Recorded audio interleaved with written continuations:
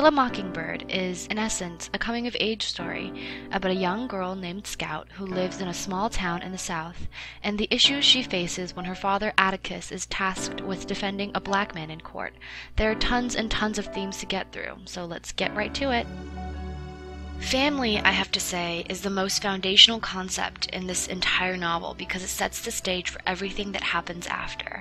Scout's relationships with her brother Jem and her father Atticus give her the perspectives through which she sees the world as she ages and becomes more mature through the events of the novel.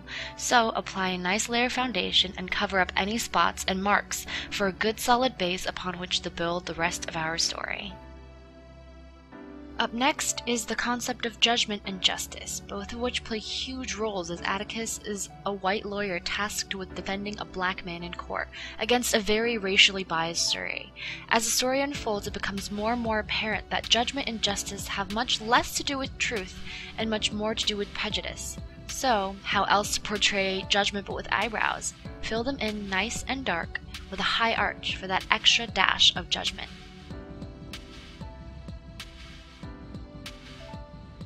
Now to the highlight, which we're using to represent morality, or rather a moral high ground. Throughout the story, Atticus tries to make sure that his children get a proper moral education, that they know the difference between right and wrong. But on the flip side of that, we have the hypocrisy demonstrated by many other adults in their small southern society. Scout was constantly faced with people who are unsympathetic to the deeply rooted racism Scout feels so conflicted by. So here, we're contouring our cheeks to symbolize the moral hypocrisy, to give the moral high ground a little contrast and the entire look and story a bit more dimension. The concept of youth is one of the most important that the book explores because the fact that the story is told through the eyes of a six year old girl gives the entire narrative a certain kind of freedom.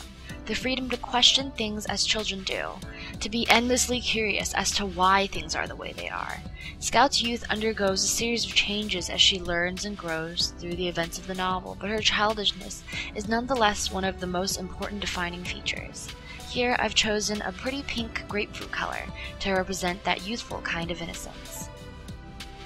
However, right on the edge of that youth is an ever looming sense of fear fear of growing up, of the unknown, of the things that they do know, and the world that they'll be forced to live in. Boo Radley, for instance, is the character incarnation of that fear. The children make up stories to feed their morbid curiosities, and his presence gives the story a very gothic edge. So shade in the outer corners of your eyes with a dark steel gray color, and blend it right into that youthful pink tone to give it a hint of gothic unknown.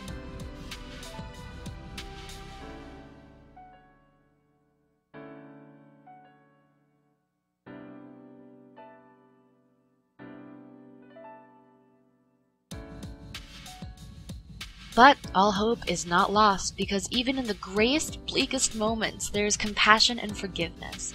Boo is shown not only to be kind and caring to the children, but Scout at the end of the novel is described as reflecting upon all that he's done for her and her brother, and regretting that they are unable to pay him back for his kindness. So go ahead and add a little shimmer of compassion to the inner corners of your eyes to open them right up.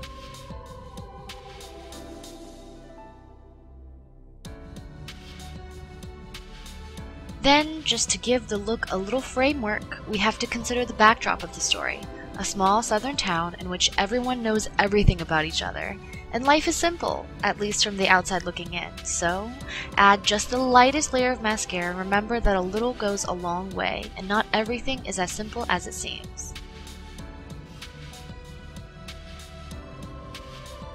Now, for the blush, which here represents femininity and womanhood.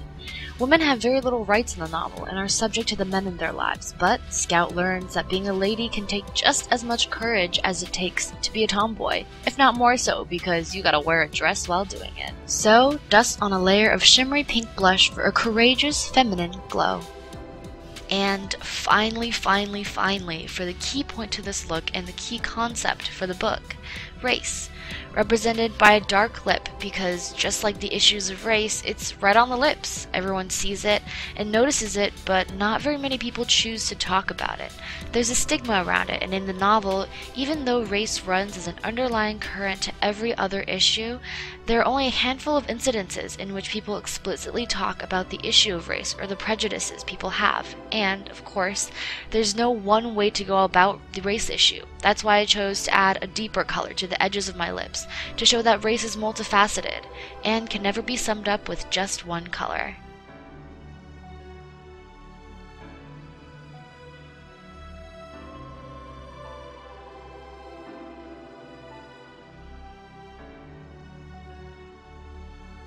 Okay, so that wraps up our To Kill a Mockingbird inspired makeup look. I hope you guys enjoyed and that you learned a teensy bit more about the book, the key themes, or just had a nice little study break for your day.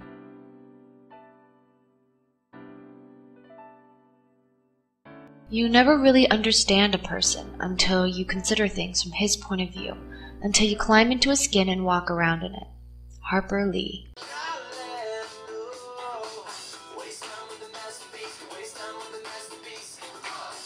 Hi guys, um, thank you guys for watching. Um, I don't have concealer on right now, but uh, let's not talk about that. I realized that I didn't record a like thank you, hey, hi, hello message after I finished my makeup look the other day because I was just so gun-ho about finishing the makeup look. So here I am. Thank you guys for watching. Also, I've set up my Tumblr, Instagram, Twitter if you guys want to follow me on those or just to chat because I love chatting with people. And if you guys have any suggestions about what books I should do next because it's been a while since I've been in high school, so suggestions would be helpful. So leave those in the comments below. If you like this video, feel free to subscri subscribe, but you don't have to, honestly, if you don't want to. Thank you guys for watching again, and see you guys next week.